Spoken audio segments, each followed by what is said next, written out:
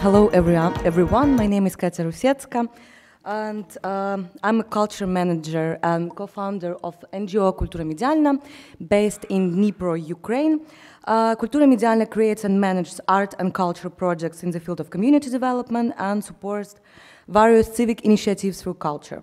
So our team particularly interested in how social and political realities impact on individual stories and collective histories.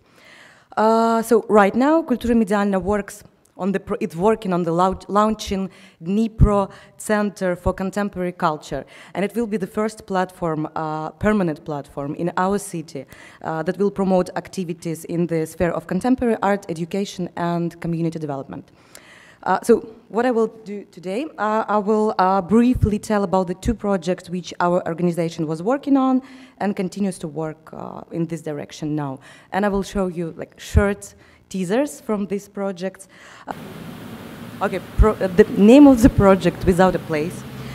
this project was created in 2016 as a reaction to a rising conflict in eastern Ukraine and a huge wave of migration uh, of internal displaced uh, people to uh, Dnipro region and to Dnipro city in particular.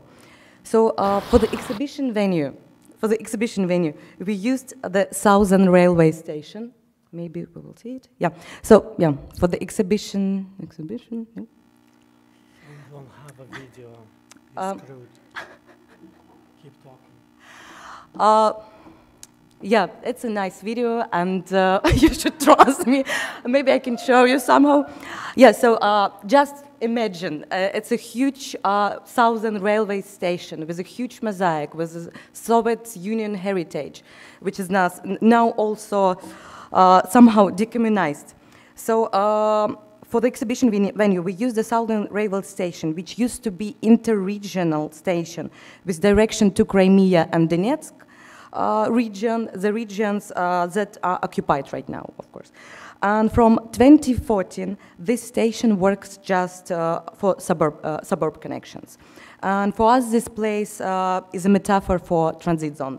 So after losing home, intern internally displaced people were looking for peace and the beginning of new life in another place. Uh, but did they find their place? Um, how did the city accept them? And uh, what makes them feel home? And the overall topic was feeling home and the ways people share this feeling, building dialogue at different levels. So we documented, documented eight um, stories of uh, internally displaced um, individuals from uh, entirely different positions uh, outside of bureaucracy and propaganda. So they were talking about uh, their deep feelings. Uh, they entered the discussion and invite the viewer. Uh, internal graduation of the project is built from private to general. Discourse tends to go beyond the political plane to a more vital one, at least, and to the historical at most. So there is no conclusion, uh, one conclusion, but, but there is a field for reflection and analysis. And yeah, uh, so it was part of installation, like a huge cube with uh, closes.